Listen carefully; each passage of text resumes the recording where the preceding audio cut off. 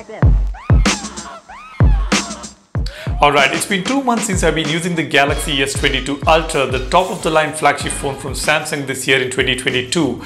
And in this video, I'd like to share my thoughts and my experiences about this phone. How has it been using it for the last two months? I would not like to do a typical review or share the specifications of this phone. Anyways, you will get it online or on YouTube. You will find almost all the information. I just want to share my experiences and my thoughts about this phone uh, after using it for the last two months. So let's dive right into it. First thing I want to talk about is the design.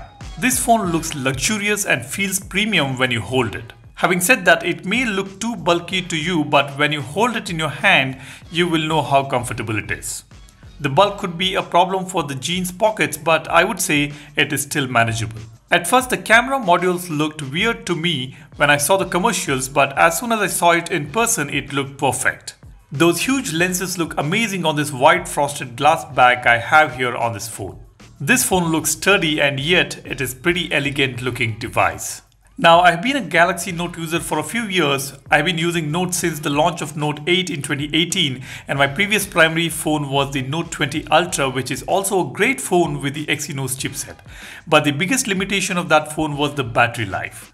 Now the S22 Ultra is certainly a battery monster. Initially when I did a typical battery test on this phone, I got about 8 hours of screen on time with 120Hz refresh rate and optimized processing turned on without the always on display. And on power saving mode, I got about 9 hours during the test but over a period of almost 2 months after installing many applications and whatnot, the daily screen on time on an average is about 7 plus hours on 120Hz display which is pretty awesome and it goes up to 7.5 to 8 hours on on power saving mode easily.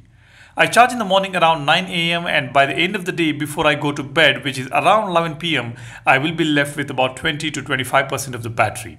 I am a moderate user and I don't play games unless I am testing the battery performance. So that's about the battery life on this device which is very important to keep in mind.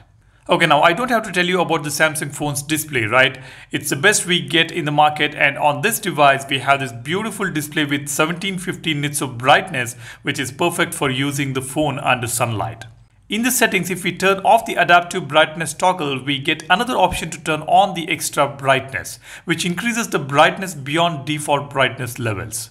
So if you are under brightly lit conditions, you can make use of this feature or you can keep the adaptive brightness on to save some battery. An optional extra brightness is thoughtfully done by Samsung. Consuming media is a pleasure on this phone and I don't think any phone could match that when it comes to the displays. Now coming to the feature which makes this phone a Samsung Note.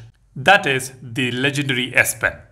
Now this feature is something which not everyone would prefer to have on Samsung's top of the line phones. For many the Galaxy S22 Ultra was preferred without the S Pen but this year Samsung actually did away with the S22 Ultra and added the Note 20 Ultra and called it the S22 Ultra. So you're not getting the top of the line phone without an S Pen. Now the S Pen is certainly a very useful tool one can use. If you ask me whether I use it on this S22 Ultra, yes I do, but not so often. I generally use it to edit images or Excel sheets, click photos using air actions, but I don't use it to jot down notes as such because I prefer using the keyboard to quickly create notes. If you're into S Pen, then the possibilities are endless. I will be making a dedicated video on S Pen features, so stay tuned and be sure to subscribe to the channel as well. Alright, now let me share my opinions about the cameras on this phone. Coming from the Note 20 Ultra, I wasn't sure whether it would be a good upgrade or not, but believe me guys, the cameras are amazing and the best so far we had on any Samsung phones. The images and videos come out to be great, especially the night shots are improved to a good extent. Having said that, if we zoom into a shot taken in the dark conditions, we can see the grains there. However, the image looks great on the actual size. The autofocus is also pretty good on this phone. This phone supports the Expert RAW app from Samsung, which is capable of taking some brilliant quality RAW images in any kind of lighting conditions, especially in the low light conditions. In the low light, it improves the image quality drastically. The super steady optical image stabilization makes the videos look very smooth and stable without any jitters. With features like stereo depth mapping, advanced auto framing, advanced portrait mode, adaptive pixels, etc., sounds pretty high tech. These features are not a gimmick, they are put into use very effectively on this device. This is the most advanced camera we have on any Android device for sure. Now coming to the chipset, the Snapdragon 8 Gen 1 chipset which I have on this phone is able to handle the apps and games pretty well. My gaming experience is very smooth on this device. Now I'm sure you would be interested to know whether this phone heats up or not.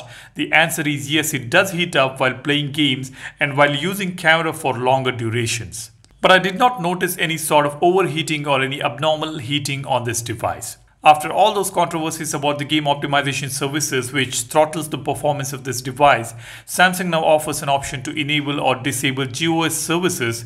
So if you are into gaming, you can get the best performance and if you are not into that, you can get the best out of the battery life. Now coming to another most important aspect of this phone, the user interface and the operating system. This phone is running on One UI 4.1 right now and One UI has come a long long way. There used to be days when iOS was the best and the smoothest operating system on a phone, but now the One UI skin on top of Android is pretty close or I would say it's as good as the iOS in its own way of course. It's a pleasure to use the skin on top of Android. It's buttery smooth, the animations are fantastic, and yeah, besides these, the additional features such as Bixby routines to automate the phone, secure folder, Samsung DeX which converts the mobile operating system into a fully blown desktop experience, the GoodLock app which enables us to customize the features and many more added features makes this device incredible indeed. I enjoy all these features and love the smoothness of this UI on this amazing 120Hz WQHD display. Alright, in conclusion, I would say after 2 months of usage, I am in love with this phone. Design is beautiful, battery life is great, display is fantastic, camera and its features are incredible, performance is amazing. What else do we ask from a flagship mobile phone, isn't it? It's a complete package and I feel this is a phone you should buy in 2022. The only con I can mention is the size or the bulkiness of this phone. It's heavy, everyone may not be comfortable, but it's more comfortable than holding an iPhone Pro Max because this has a curved edge which makes it comfortable to hold. That's the only con I would say. Apart from that, everything else is pretty good on this phone. This is my experience and my thoughts about the Galaxy S22 Ultra Snapdragon variant. That's all I want to share with you guys in this video. There are loads of contents about the Galaxy S22 Ultra on the channel. There are many tips and tricks videos, best app episodes. We also have some useful content for the Galaxy Watch users. So if you're into all these topics, be sure you smash the subscribe button and give this video a like if you find it useful. That's all I have here. Thanks for watching you guys. Take care and stay safe. I will see you in the next one. Cheers. Bye-bye.